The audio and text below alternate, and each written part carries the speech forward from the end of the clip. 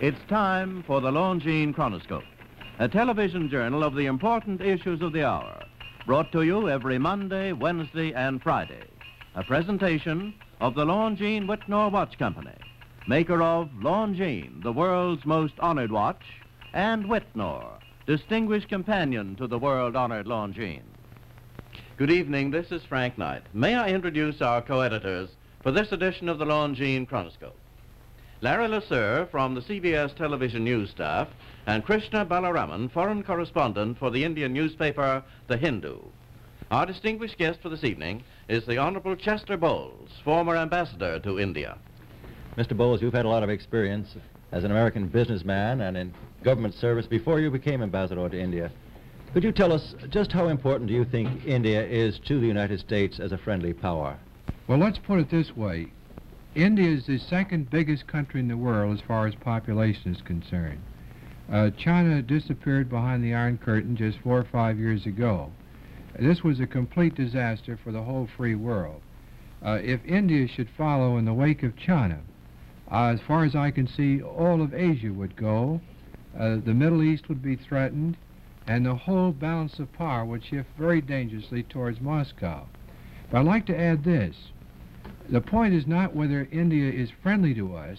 The question is whether India can succeed as a democracy in building an independent country, a country that's prepared to defend itself against any aggressor, not because it suits our purposes, or not because she's doing it for us, but because she has confidence in her own future and wants to defend what she believes in. Uh, Ambassador, how do you see Nehru's historical role in the world? Isn't he indispensable to the democratic world?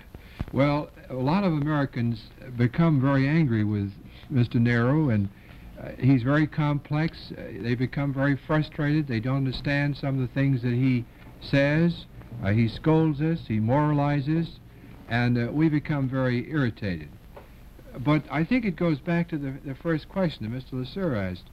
Uh, if Nehru succeeds in building a free India, uh, Nehru will have performed a tremendous service to democracy.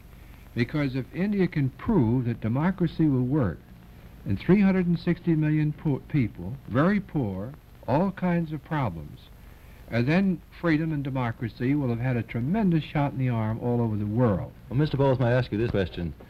Is this a one-man government? What would happen if Mr. Nehru were to pass from the scene? Well, I wouldn't want to see that happen right now, even though we do get uh, somewhat disturbed sometimes at some of the things he says. Uh, the difficulty in India, I think, is it's a, basically an old man's government. Uh, the Indian Congress Party uh, had worked, of course, for 30 odd years uh, to try to become free from Britain, to throw off British power.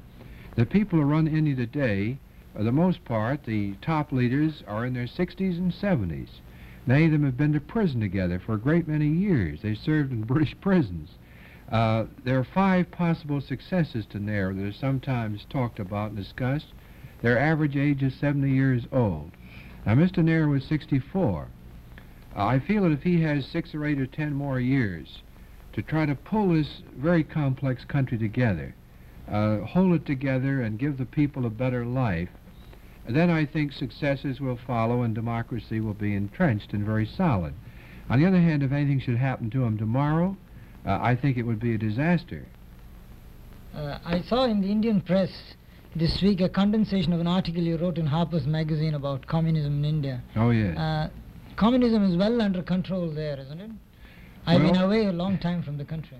Uh, communism in India, first of all, about 5% of the people voted communist at the last election. Uh, that was in 1951 or 52. I don't know whether there are any more communists today or any less communists. There's no way of telling. Uh, the difficulty lies, I think, in whether or not, again, getting back to this question, can the country succeed? The communists are betting, of course, that it can't succeed. They're trying to tear down democracy in every possible way. They're throwing every obstacle in the way of the programs of economic development and health and all the rest. Now, one of the difficulties, I think, lies in the young people. Uh, young people of India, many of them are frustrated. Uh, they're not trained to become doctors or school teachers or engineers or agricultural experts. Uh, they graduate with all kinds of degrees. uh, but they're not really prepared to go out on this big job of building India.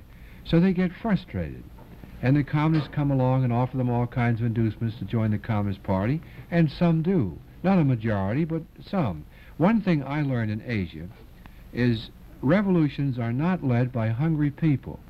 And they're usually led by frustrated middle-class people who've never had a hungry day in their life. They take advantage of the poverty, of course.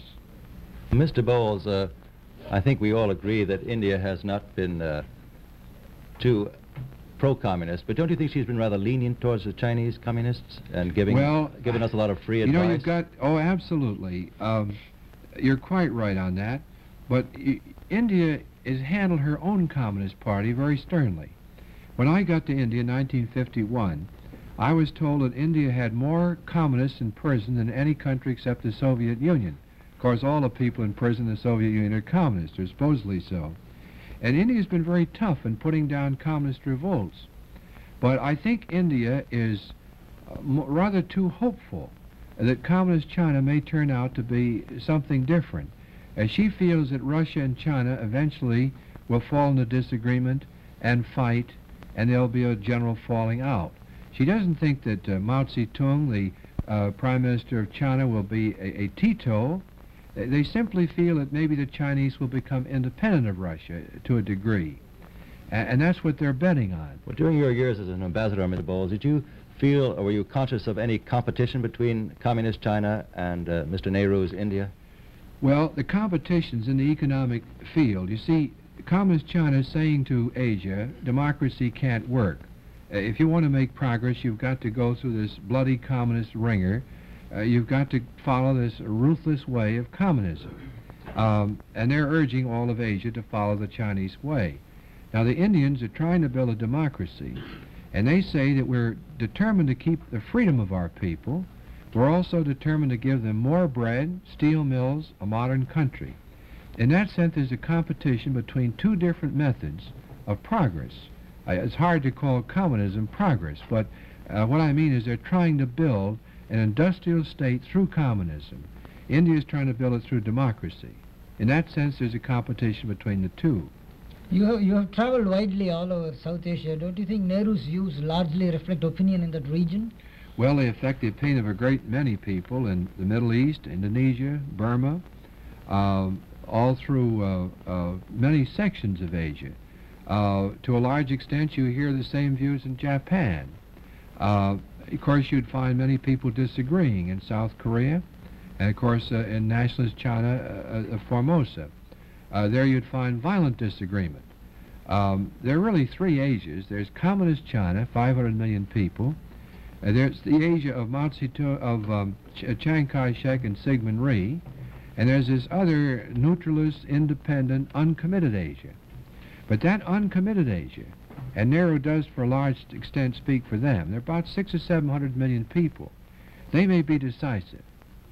Mr. Bowles, an ambassador, is sort of a super reporter.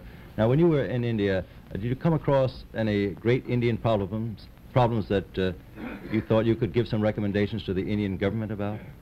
Well, uh, one one thing I felt very strongly about was uh, land reform. Uh, you know, in America, we all take the right to own some property for granted. A small farm, uh, a, a little business, your own home, all those things mean a great deal to us.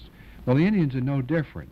And where you have land owned by thousands and thousands of acres, owned by one man, uh, with the people working the land paying a tremendous rent, raising food under the hot sun, and giving 50, 60% of it to the landlord, you have a ready-made area for the communists to move in and take over. Uh, I think it's very important that India put through these reforms so that her people really feel that they're making progress and that they own their own little farms and that uh, they're not just working as, as serfs for some great landlord. Uh, that's one thing I felt very strongly about. Uh, Ambassador, what do you think of this new American plan to build up uh, the Pakistan army? Won't it upset stability in Asia? Well, I don't know. I wish that India and Pakistan could get together. I think it's it's tragic that they're not together, and I think that uh, the whole world, the United States and all the free world, should do everything possible uh, to encourage the two nations to get together. Now, if they were friends, and they should be friends. They're the same people. Uh, if they were friends, they could do a great deal to help uh, fill this vacuum of the Middle East. There's a dangerous vacuum there. There's great confusion there. There's a danger the Russians may someday move into that vacuum because aggressors always move into vacuums if they can. There's another dangerous vacuum in Southeast Asia, the whole Thailand, Burma, Indochina situation, which is having its difficulties. Now, if only Pakistan and India could work together to help these neighbors of theirs to bolster themselves up, then they would make a very great contribution. Now, I think any policy that tends to divide India and Pakistan and make them quarrel uh, more heatedly than they have in the past is wrong and mistaken. Mr. Bowles, as a final question, may I ask you, is there any advice you could give us Americans on how to better our understanding of the Indians? Well, you might almost say Indian Asia. I, I think what my advice would be this, that we go back and remember our own early future as a country. When we were very young, we were very independent. We were very sensitive. We were thrown out the British and we'd become free. We didn't want any foreigners telling us what to do. And when they did try to tell us what to do, we scolded them back in no uncertain terms. We were isolationists. We were neutrals. We were behind these great oceans. Uh, we didn't want to have any part of foreign wars. Uh, all of this applies to India. Uh, she, too, is trying to build her own country.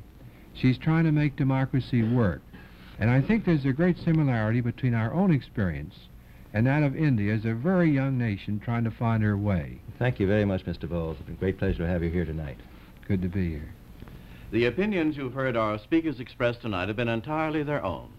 The editorial board for this edition of the Longines Chronoscope was Larry LeSueur and Krishna Balaraman.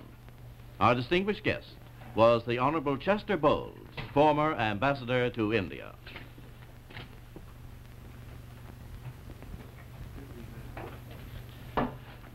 A priceless attribute of every Longines watch is pride of possession.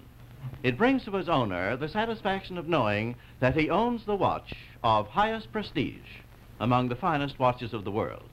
Yes, a Longines watch brings its owner more than the delight of a beautiful possession, more than the unsurpassed timekeeping of a remarkable watch. For that Longines watch of yours is the one and only world's most honored watch.